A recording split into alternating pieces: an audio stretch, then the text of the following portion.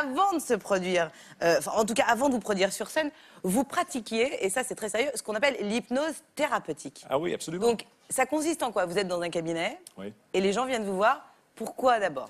Pour Ben, quelle sou- raison? Ils venaient me voir souvent pour euh, des, des- des maladies psychosomatiques hein, euh, Mm. ou des phobies ou euh, des addictions. euh.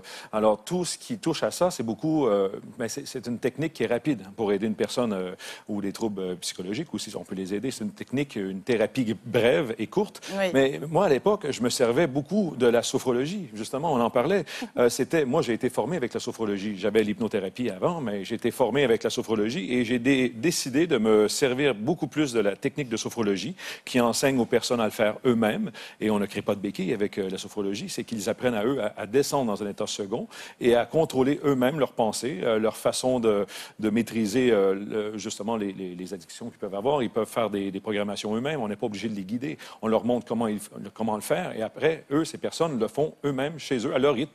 Et moi, je trouvais ça beaucoup, beaucoup mieux que l'hypnothérapie qui, doit ramener le patient dans son cabinet à, à plusieurs séances. La sophrologie donne cette liberté. On apprend au De pouvoir faire soi-même. Oui, c'est ça. Mais Mesmer, j'ai une question. La plupart des gens qui ont envie d'être hypnotisés, c'est soit pour arrêter de fumer, soit pour le stress, pour... Ça arrive pour- souvent. oui. Ouais. C'est la- la- la- Arrêter de fumer, ça revient très souvent. C'est souvent. C'est la première demande, c'est ça, se libérer de la Ça marche à cigarette. 80%, on dit. Ben, disons que ça marche très, très bien, Mm. euh, à des niveaux différents, avec des séances différentes. C'est pas une baguette magique encore. hein. Les gens associent ça à une baguette magique. Quand je vais aller voir un hypnotiseur à une séance, je vais, je vais me libérer.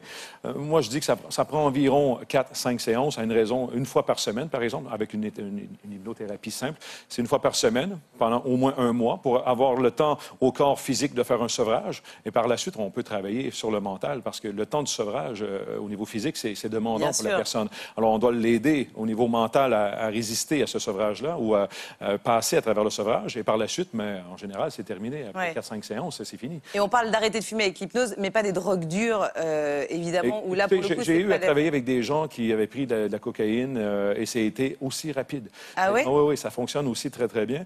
Euh, ça dépend du patient, ça dépend comment il fait la thérapie, mais en soi, euh, j'ai traité des gens qui avaient des drogues dures. Et pendant le sevrage, encore une fois, on les aide au niveau, pendant le sevrage, à, à ne pas ressentir l'effet ou, à- ou à moindrir l'effet du sevrage. du manque. Bruno, si vous aviez à Pourquoi ce n'est être... pas prescrit euh, systématiquement alors si Alors ça, on va le si voir. l'efficacité est aussi Ouais. grande euh, On- Ben, c'est justement, l'efficacité euh, diffère d'une personne à l'autre. Alors, la science Ouais. n'est pas encore assez avancée pour, pour comprendre pourquoi ça marche mieux avec une personne, pourquoi ça marche moins bien avec une autre personne. Alors, on essaie encore de comprendre pourquoi on n'a pas une recette mira- miracle euh, avec qui on pourrait fonctionner avec Ouais. tout le monde. hein.